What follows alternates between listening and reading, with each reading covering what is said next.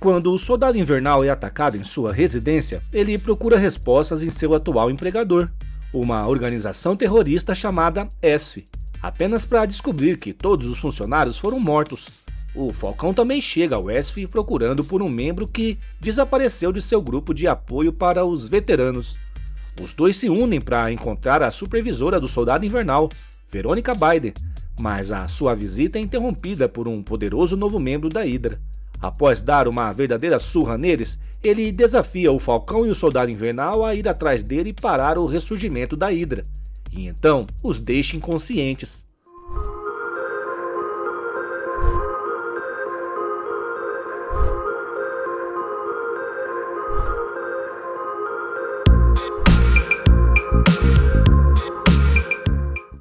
Fala galera, como vão vocês? Estão bem, né?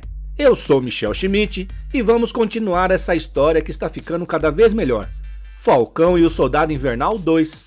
Eu só peço a ajuda de vocês que é dando aquele like, que ajuda demais o canal. E aproveitar para se inscrever também, caso ainda não tenham feito, é claro. Tem sempre conteúdo como esse por aqui. Divulgue para seus amigos e, se puder, eu gostaria de saber o que vocês gostariam de ver no canal. Qual personagem ou grupo? Sem demora, Vamos pro vídeo? Sam Wilson é o primeiro a se levantar. Ele e seu parceiro estão envergonhados de levar uma surra de um garoto de mais ou menos 20 anos. Eles chamam o garoto de natural e percebem que ele levou Verônica. Ele deve precisar dela para alguma coisa. Sam parece mais atordoado com tudo o que aconteceu e pergunta por que o garoto não matou eles. Buck diz que vai perguntar da próxima vez. Mesmo com o orgulho ferido, a missão continua. Eles têm que tirar o protegido do Barão Zemo do trem, e rápido. Uma discussão começa. Buck não gostou nem um pouco de quando Sam impediu de atirar no rapaz. Você não é como o justiceiro, diz Sam. Buck responde que, pelo menos, Frank Castle fez algo que eles deveriam ter feito há anos. Ele matou o Barão Zemo. Sam não aceita uma situação como essa e diz que Buck não é o próximo justiceiro. Mas aí, quando parece que as coisas vão sair do controle, Buck recua e diz que é melhor focar no trabalho. O trem já deixou a estação, agora vão ter que chegar lá voando. Eles chegam ao trem das 3h15 rumo a Buffalo. O soldado invernal já chega querendo entrar e invadir o trem, mas Sam pede um segundo para descansar seus braços são de carne e osso e ele carregou o amigo por 20 minutos. O soldado reconhece e diz que se serve de consolação, suas mãos são macias. O Falcão diz que ele não para de deixar a situação pior.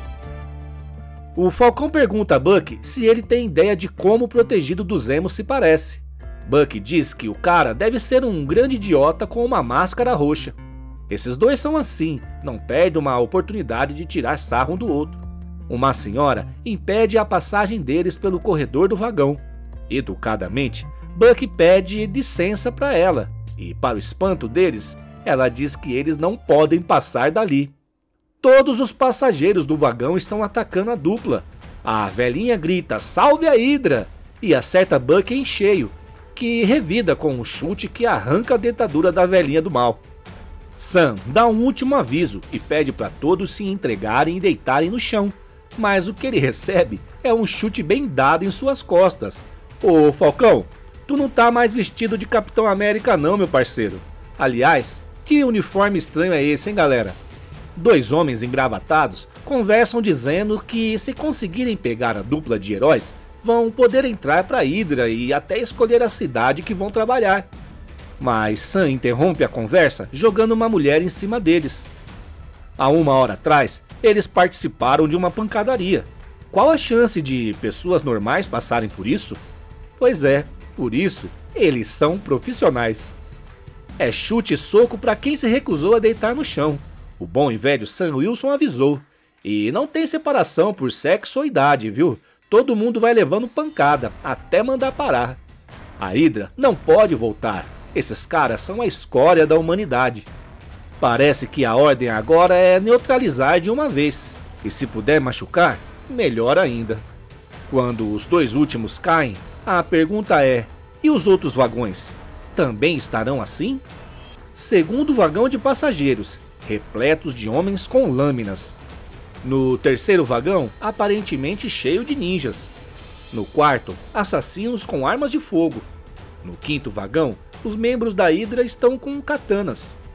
Já no sexto vagão, os pilantras estão com armas de laser. No sétimo vagão, bastões de energia. Onde estas organizações arrumam tanta gente para atrapalhar a vida dos outros, hein? O soldado invernal pergunta se alguma daquelas mulheres é a tal que desapareceu do grupo de apoio de Sam. Ele diz que Mackenzie é um soldado, mas não os atacaria assim. Buck está desconfiado e pergunta se ele está escondendo alguma coisa. Sam não entende o porquê da pergunta e rebate dizendo se Buck se sente bem. Ele se diz ansioso de meter uma bala na testa do protegido do Zemo, o Falcão disse ele não pode pelo menos atirar para ferir. Buck responde que um tiro na testa é um ferimento, e então entram no vagão. Sam pergunta se Buck consegue saber quem é o protegido do Barão Zemo naquela sala. Meu, esses caras são demais. Ele responde que ficou desapontado dele não ter mudado o visual e a cor da máscara, que por sinal é assustadora, brinca Buck até ouvir a voz do vilão e perceberem que é mesmo a voz do verdadeiro Barão Zemo. Isso quer dizer que o Justiceiro falhou em matar Zemo. Ele diz que o Justiceiro conseguiu tirar apenas sua mão, mas não sua vida. Buck ameaça tirar na cabeça de Zemo, mas o vilão diz que ele não pode fazer isso. Zemo diz que está numa disputa com outra pessoa pela liderança da Hydra e que se seu oponente ganhar, eles vão fazer uma série de ataques devastadores ao governo americano e que no final vai ser uma verdadeira carnificina. Mas e se você ganhar? pergunta Buck. Zemo diz que pretende ir devagar, dando chance aos heróis de impedirem seus planos malignos. O Falcão já entendeu tudo, e você, meu amigo nerd? O ponto aqui é o seguinte: Enfrentar um novo inimigo imprevisível ou o vilão de sempre que você já conhece? Essas são as opções. O Falcão tem outra alternativa: derrotar Zemo e em seguida o rival dele dentro da Hydra e todos ficam felizes. O Barão diz que ele não pode ser derrotado. Sam pergunta ao vilão sobre o natural. O inimigo diz que ele realmente é um prodígio quando se trata de matar o Falcão pergunta se ele pertence ao grupo do Barão Zemo e o vilão responde que infelizmente não, e que recrutar pessoas como ele é complicado. Não foi ele que enviou o assassino para o Escritório de Serviços Federais, a ESF. O escritório o tem ajudado muito. O Barão já sabia das operações dos serviços federais, que eles estavam rastreando vários campos de treinamento de organizações terroristas no país. O Barão Zemo usou a ESP para identificar os recrutas. O vilão pensou em acabar com o escritório, mas percebeu o quanto ele seria útil se ele os grampeasse. Ele pegou apenas os mais inteligentes e os melhores, deixou as escórias para as outras organizações e esperou por candidatos promissores até que o atirador do ESP apareceu. Buck quer saber quem ordenou o ataque ao escritório. O vilão diz que com certeza foi seu rival, ao menos é o que ele acredita. O desconhecido estava com inveja porque ele vinha recrutando a nova geração de agentes de elite da Hydra. Falcão pergunta onde ele estava indo num trem cheio de assassinos falidos. O barão não esconde a decepção dos heróis terem conseguido chegar até ele. Afirma que basta a dupla esperar para ver os agentes em forma. O soldado diz que eles sofreram lavagem cerebral e que eles devem, na verdade, esperar pela limpeza do que fizeram com eles. O vilão afirma que Buck nem percebeu que eles acabaram de entrar numa parceria para a indignação do soldado invernal. O Barão Zemo lembra das duas opções que deu aos heróis: ou ele ou o rival. Ele pode ajudar a acabar com a ameaça imediata se o Falcão e o Soldado Invernal deixarem seus assassinos falidos em paz para continuarem seus caminhos. O natural pode levá-los ao rival dele, entregando o endereço dos pais do garoto, e ele ainda diz que a dupla vai gostar demais dos pais do garoto. Buck diz que ouviu bastante e que não há acordo algum, que vão conseguir tirar do vilão o que precisam. Zemo começa a chantagear o herói, falando do trabalho do agente para a UESF. Um perdão condicional que Buck recebeu do governo, uma recompensa pelo esforço do soldado ao derrubar a Ida.